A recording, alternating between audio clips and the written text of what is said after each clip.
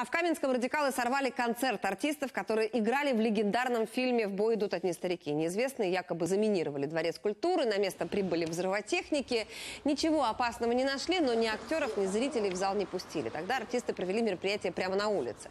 Подобные концерты прошли накануне Дня Победы в десятках городов при поддержке оппозиционного блока.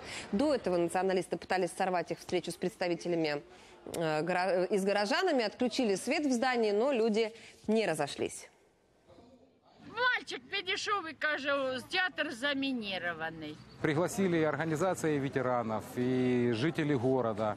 Люди пришли, оказывается, э, заминировали и дворец культуры, и другие з- дв- залы, где мог пройти этот концерт.